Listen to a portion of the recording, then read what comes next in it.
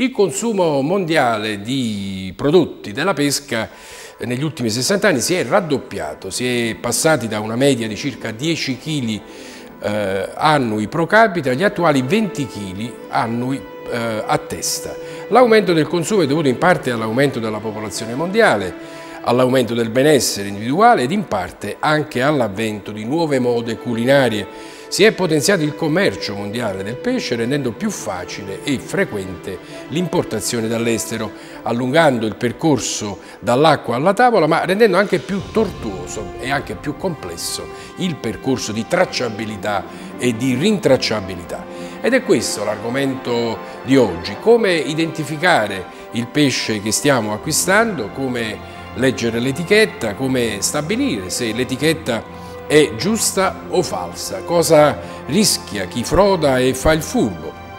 E per parlarne con noi a Quotidiano Medicina uno specialista, Giorgio Smaldone, medico veterinario, dottore di ricerca nel Dipartimento di Medicina Veterinaria dell'Università Federico II di Napoli, uno specialista eh, una volta, ma ancora oggi in alcuni casi, il pesce, dottor Smaldone, stava sui carretti, sulle per la strada, diciamo, oppure nelle pescherie, così. E, e lì l'acquisto era un po' sulla fiducia che ci legava al pescatore, al pescivendolo. Oggi invece eh, come è presentato il pesce ai consumatori? Cosa deve riportare l'etichetta di un prodotto ittico? Vediamo un po' questa videata che ci fa vedere Mario Argentino che ci spiega un po' in rosso le diciture obbligatorie, vero dottor Smaldone? Sì, in rosso sono presenti le diciture obbligatorie secondo la nuova regolamentazione comunitaria. Allora, come vediamo, in, in, primo deve essere indicato il nome comune ed il nome commerciale del prodotto sgombro. della pesca. Sì, in questo caso sgombro, nome commerciale, e nome scientifico Scomber sgombrus.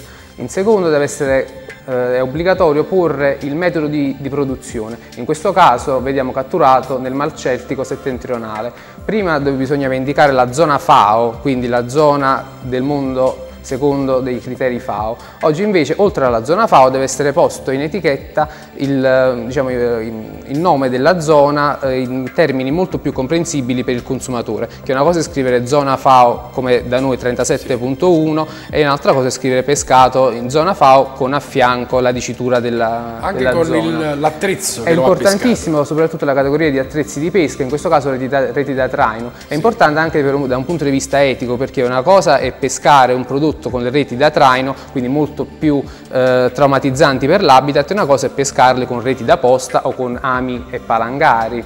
Indicata anche la data, è vero, la data di scadenza? Deve essere indicata la data di scadenza secondo i, i nuovi regolamenti, deve essere indicato il, naturalmente se il prodotto è stato decongelato o sì. eh, diciamo in, in, in alcune fattispecie non è obbligatorio porlo.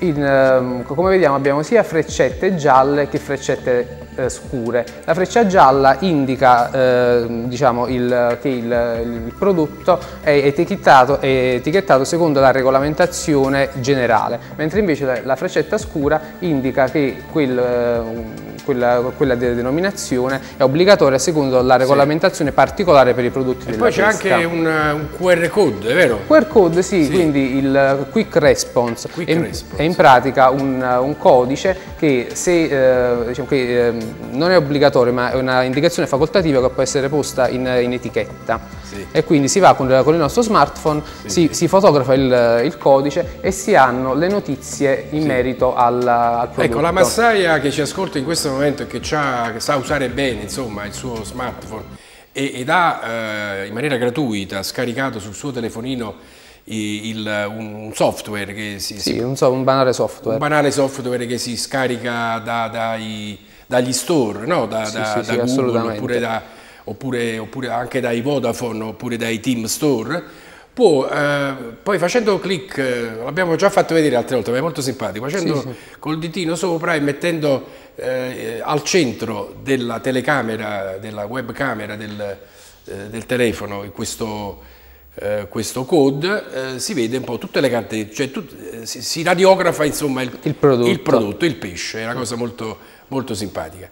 E dunque, dicevamo Un'altra insidia, vero, dalla quale dobbiamo guardarci, dottor Smaltone, alla, mentre stiamo vedendo e acquistando il pesce è la frode, cioè quando ci viene presentata e venduta una specie ittica eh, spesso molto simile a quella descritta, ma la vediamo tra poco, ma in realtà che è di minor pregio e quindi costa meno. In questo caso scatta la frode. Sì, assolutamente. Cioè, mi vuoi fregare con un pesce che non è quello che mi vendi. Con un pesce che, che non è quello. Nel, diciamo, nell'ambito del settore dei prodotti della pesca, la frode commerciale Aliud Pro Alio è una frode molto abbastanza presente, quindi è una frode che si, che si configura quando il venditore cede al consumatore finale un qualcosa che ha un valore inferiore rispetto a quanto atteso dal, dal, dal consumatore. Questo avviene perché vengono, eh, come dire, sul prodotto vengono eliminati gli elementi distintivi. Vediamo alcuni esempi, eccolo qui.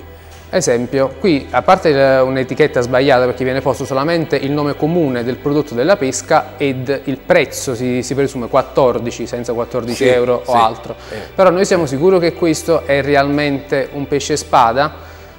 Una delle frodi possibili è la vendita di pesce spada, cioè di squalo al posto di un pesce spada, prodotti totalmente differenti e come qualità organolettiche e come prezzo soprattutto. Quindi in questo caso è una frode tipo commerciale, annonario. Da che cosa si nota la differenza? Sì, no, se, se, vediamo nell'ambito del, del, trancio notiamo la differente disposizione del muscolo scuro definito muscolo di Vogt. Come detto prima, essendo un trancio vengono a mancare tutti i criteri morfologici distintivi di specie vediamo sopra il pesce spada e sotto lo smeriglio. Il muscolo di Vogt ha degli, un andamento diverso. Se vediamo nella fotografia di sopra il pesce spada presenta il muscolo di Vogt a forma di ancora che ricorda vagamente sì, un'ancora sì. o se lo vediamo da sopra una forma di ali di gabbiano. Ecco, fermiamoci un attimo scusa Argentino se possiamo tornare un attimo alla, e frizzare eh, l'ultimo frame eh, la, il confronto tra il pesce spada, eccolo qui, grazie. Eccolo qui. Mentre invece lo smeriglio presenta un muscolo differente e ricorda vagamente un cuoricino stilizzato o una, una macchiolina più tondeggiante verso il centro della, del, del trancio. Disegnato, Ho diciamo, disegnato come, come se fosse un cuoricino, cioè per, per ricordarlo l'ancorotto eh. e il Allora, il lei cuoricino. Sai, anche noi che spesso andiamo dal nostro pescatore, pescivendolo, diciamo, di, di eh, di fiducia, ecco, facciamo rivedere un attimo l'immagine e eh, dobbiamo notarla questa differenza. Se c'è nel trancio che spesso è presente sui banchi, sì, sì, assolutamente. ci sono queste due macchie laterali a forma di cuore, non è pesce spada. Assolutamente non è, è pesce uno spada. Squalo, un pesce, uno squalo smeriglio. Sì eh, che si vuole vendere per pesce spada. un pesce cartilagineo che spesso è venduto come decongelato al posto di un pesce spada che ha valori commerciali assolutamente superiori rispetto, In questo rispetto caso, dottor Smalto, che dobbiamo fare? Chiamare la Guardia di Finanza, i, i, vigili urbani, che dobbiamo fare? Dovremmo comunque far notare il, al, Facciamo prima notare al pescivendolo, Facciamo notare all'osa, stai sbagliando. L'etichettatura eh. non, non, è, adeguata perché sì, non hai posto in essere gli obblighi per, per, l'etichettatura e poi mi stai vendendo un qualcosa per, per, un altro. Se vuoi venderlo devi comunque porre in etichetta smeriglio e, e il nome, il nome scientifico. Lo facciamo notare. Lo alla... facciamo notare. Se invece il pescivendolo è, come dire, eh, resistente e eh, vabbè allora dobbiamo insomma dirglielo con un po' con le, con le cattive con, con le cattive oppure con metodi un po' spicci insomma fin quanto capirà sicuramente non è stupido Ecco, vediamo, andiamo avanti con, eh, con l'altra scheda, ecco qui, questo è un altro tipo di frode.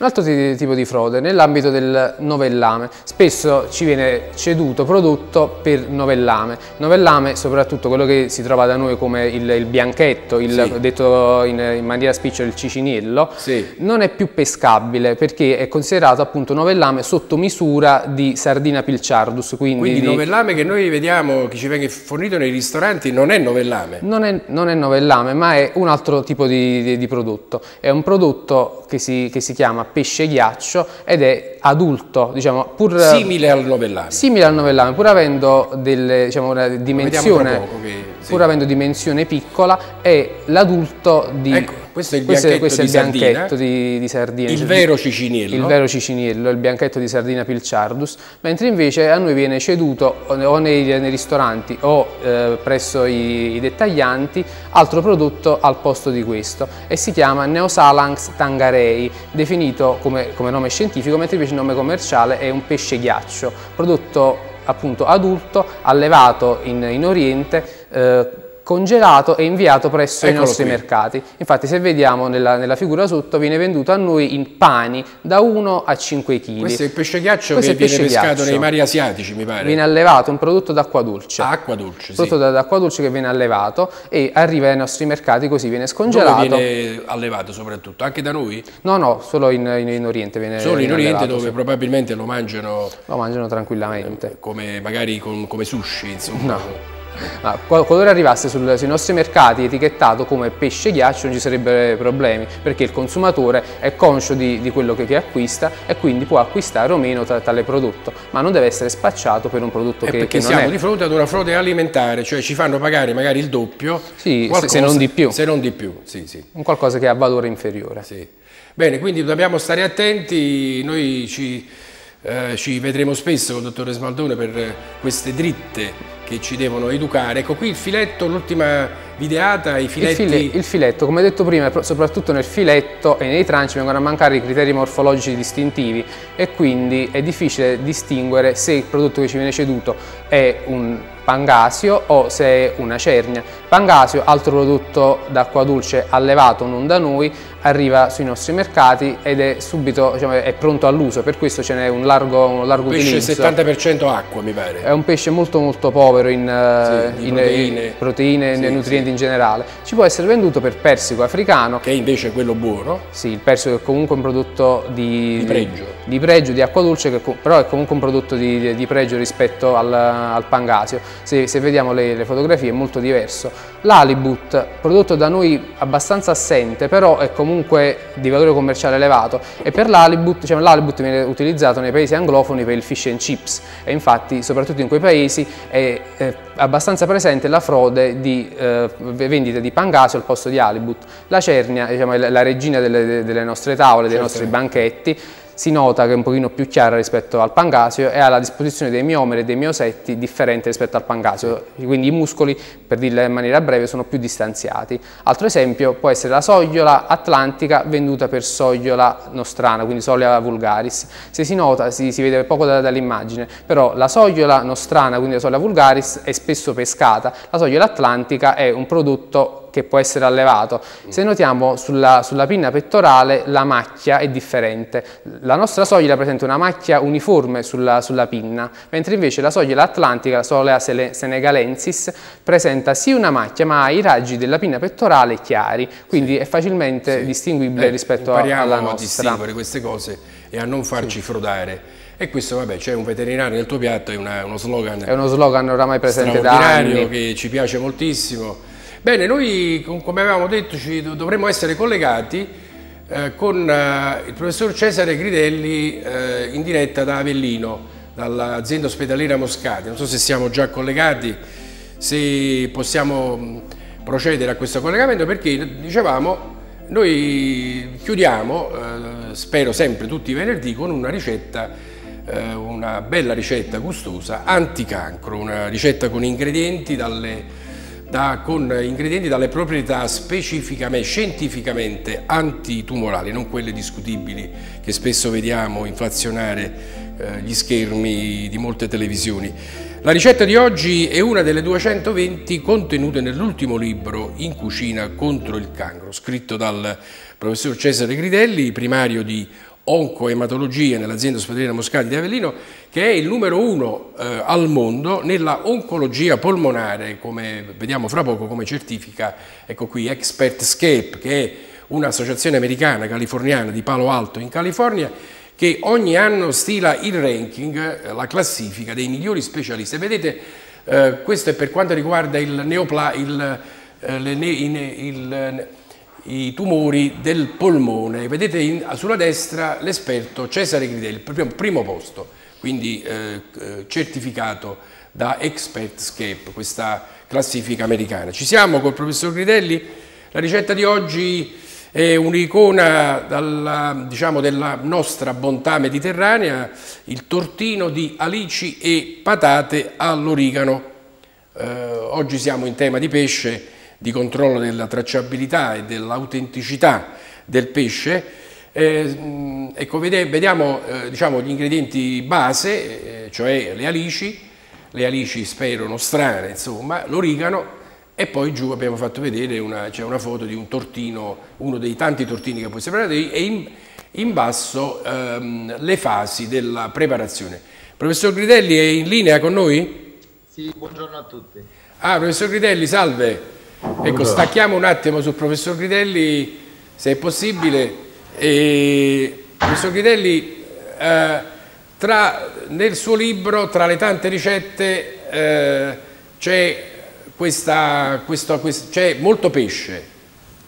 Sì, eh, molto pesce perché eh, il pesce ehm, eh, ha una serie di caratteristiche chiaramente molto positive dal punto di vista nutrizionale, soprattutto ehm, eh, eh, la, non abbiamo il problema appunto dei grassi saturi con il pesce, quindi del colesterolo, mentre invece abbiamo i cosiddetti grassi buoni che sono in particolare gli omega 3 sì. che hanno delle caratteristiche di protezione molto importanti per esempio sul sistema cardiovascolare e poi dico sempre il vantaggio è che quando mangiamo, utilizziamo il pesce chiaramente non mangiamo la carne rossa, questo sembra strano ma in realtà l'effetto positivo è dato non solo da quello che ci può dare il pesce in termini ecco, come dicevo di omega 3, di fosforo, altre cose, ma poi soprattutto perché eh, ci riduce eh, quindi in modo corrispondente il consumo poi delle carni rosse in particolare. Ecco professore, noi torniamo un attimo sulla, su questa ricetta eh, molto semplice ma anche molto gustosa. Noi sappiamo che lei oltre ad essere un grande oncologo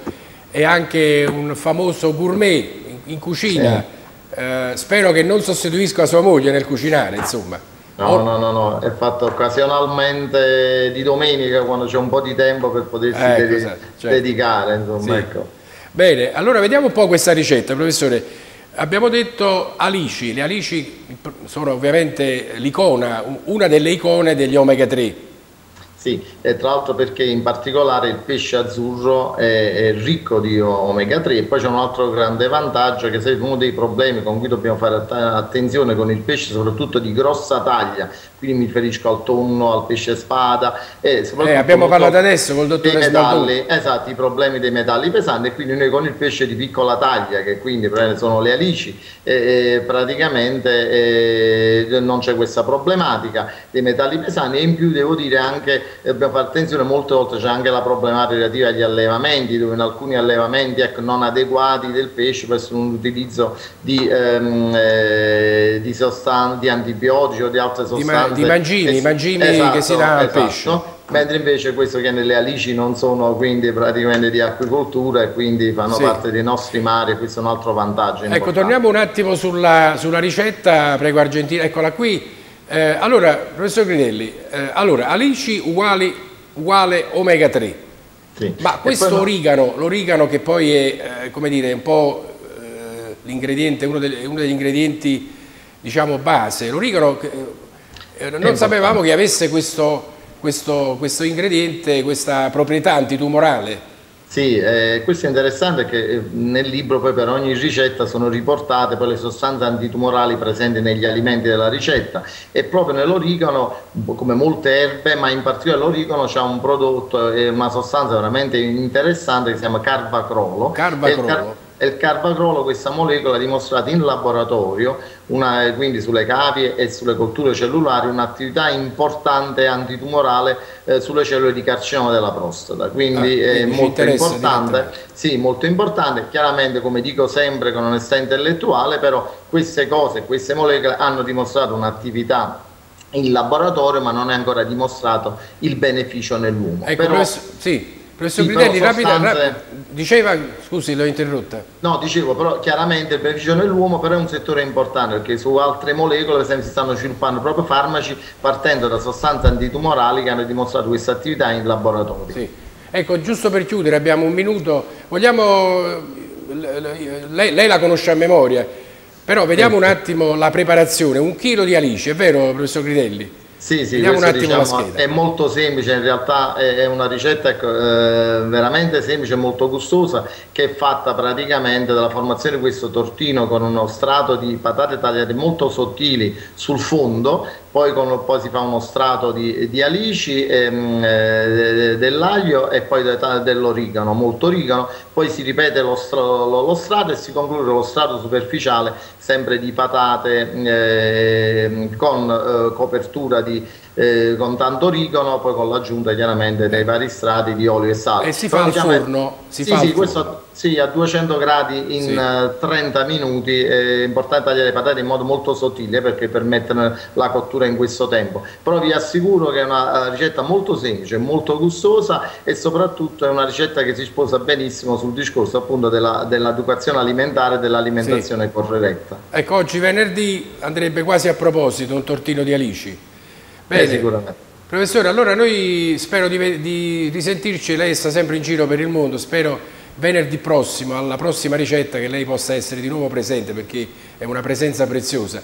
Eh, mi pare che lei presenta il libro dove, dove- dove si trova? Dove- E, diciamo, purtroppo molti sabato pomeriggio stanno, domani pomeriggio alle 17.30 a Ponte Cagnano, nella piazza di Ponte Cagnano, nei pressi del comune. Ah, perfetto. Bene, professore, allora a presto, grazie della sua disponibilità. Noi Grazie a torniamo- voi, buongiorno a tutti. Grazie professor Critelli, al venerdì prossimo, quindi oggi diciamo il pesce ha dominato, insomma, Oggi eh. il pesce ha dominato, il pesce ha vinto. pesce ha vinto, carni rosse soltanto, ricordiamolo, 200 grammi eh, a settimana, non al giorno. Con spesso- moderazione. Con moderazione, però non, senza eliminare, senza allarmarci. Senza eliminare e senza demonizzare la, la carne rossa. Perfetto. Assolutamente. Bene, grazie al dottore Smaldone, grazie, Grazie ai medici veterinari, i nostri angeli custodi della tavola, eh, grazie a voi per averci seguito da casa.